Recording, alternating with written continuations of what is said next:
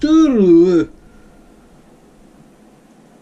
Siinä oli 500 euron hammas. 500 euron hammas.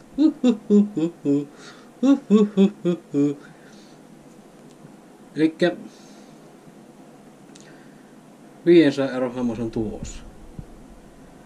Niin tämmönen 500 euron hammas vittu, niin 500 maksan tuosta helvetin muovi räpylästä, räpyyskästä, niin kai sille nyt joku että tuolla vähän kalta kalta Katsota joku takkuu nyt vähän. Todennäköisenä käsä vittu hyödyä. Vittu todennäköisenä olla, hä? Viisaina hahana, Niin tota, pitää saatella tuossa ne hammaslääkäriin ja kysyä tosiaan, että kai tällä nyt, tällä Kiinan hampalla nyt takuu on, perkele. Ei hyvää päivää, tämmöisiäkö on viritellään perkele, niin ei pysy, pysy tota Viisaina hammat suussa. Perkele!